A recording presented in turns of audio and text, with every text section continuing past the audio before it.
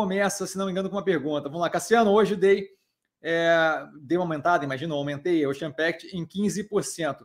É, posição já representa 7% do meu portfólio. Considerando o portfólio, qual seria a exposição segura em barquinhos? Qual percentual você considera overexposed? Olha, para o Ocean Pact, nos preços que a gente tem hoje em dia, eu consideraria overexposed acima de 20% do portfólio, tá? É, eu estou muito tranquilo com o andamento da operação. Se vocês olharem de novo a análise e façam isso quantas vezes vocês precisarem, tá? É, ou então anota os números para poder rever sempre que você quiser. Mas se você olhar, você vê claramente uma evolução é muito interessante, muito positiva da operação, certo?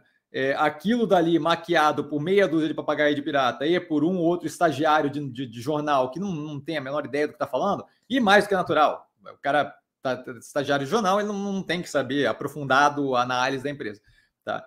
Mas, assim, tirando isso, fica muito claro, muito óbvio, muito, muito é, é, é, é, visível a evolução daquele resultado e o controle da operação sobre a situação como um todo. A gente vinha de operações aí é, com, com, algum tensionamento, certo? Ali naquele setor ali, a gente viu que Covid afetou negativamente, atrasou a chegada de embarcação, é, reduziu investimento aqui de empresas de petróleo de fora do país, então, assim, tivemos ali toda a, questão da renegociação do salário, da, da, da, da recomposição do salário lá de, uma, de, um, de algumas classes ali que trabalham para eles. Então, assim, com, com toda essa pressão, ainda assim a gente viu o resultado evoluir bem positivamente. Então, assim, eu tô zero preocupado. Acho que considerar overexposed nos preços que a gente tem seria papo de 20% do portfólio.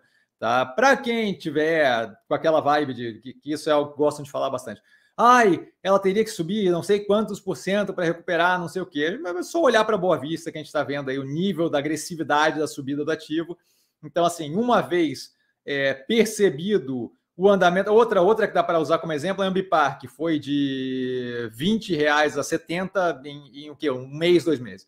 Então, assim, é, focaria menos no preço focaria mais no, na tese, que eu imagino o que você está fazendo, dado o aumento do porto, da, da, da, posição, mas eu acho que qualquer coisa abaixo de 20% é bem tranquilo, mais do que isso. O preço que você está pegando hoje, é, é, encavalando ali no 7%, você eventualmente tendo algum nível de evolução naquele preço, você pode é, é, cortar a ponta mais barata, que está explicado nos seleções, na live 127.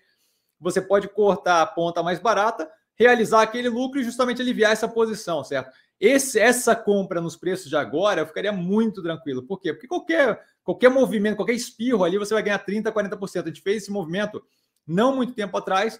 É... Inclusive saiu na análise ali, a ponta mais barata com 33% de lucro, sabe? Então, essa, esse movimento de redução de portfólio ali, é, de disposição nesse meio tempo, não é algo difícil de fazer tá? Nos preços que a gente tem hoje. Então, ficaria zero preocupado, 7% me deixa muito, muito tranquilo, tá?